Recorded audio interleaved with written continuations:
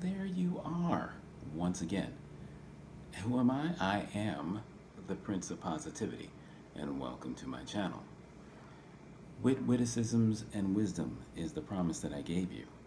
And wit, witticisms, and wisdom are what you will receive.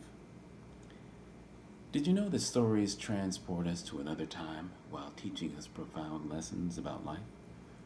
Now, for this post, I've decided to share several stories with you. These are stories that will make us think or make us smile. Some of them make us laugh out loud. But then again, it depends on how much it takes to tickle your fancy.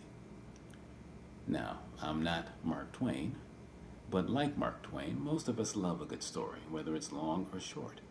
We love funny stories and jokes because they lift our spirits and often give us something to think about.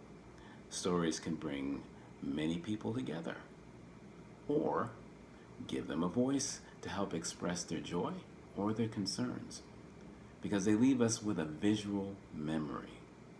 Stories are a great way to build connections and often friendships with other people. Stories are a great way to teach lessons. So I'd like to teach you about Joe. There once was a farmer whose wife had died and left him with three beautiful teenage daughters. Every weekend, when they went out on dates, the farmer would stand at the door with his shotgun, making it clear to their dates he wanted no trouble from them.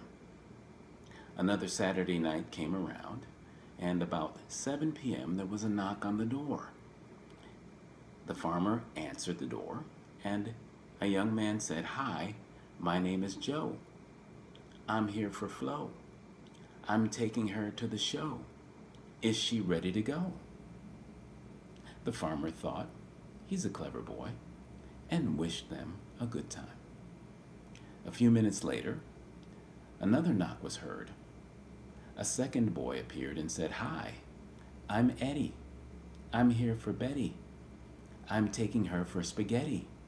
I hope she's ready.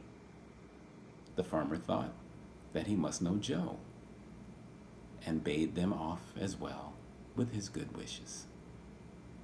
A few minutes after that, a third knock was heard. Hi, I'm Chuck. The farmer shot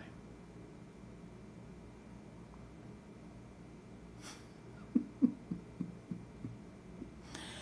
and that's our word for today.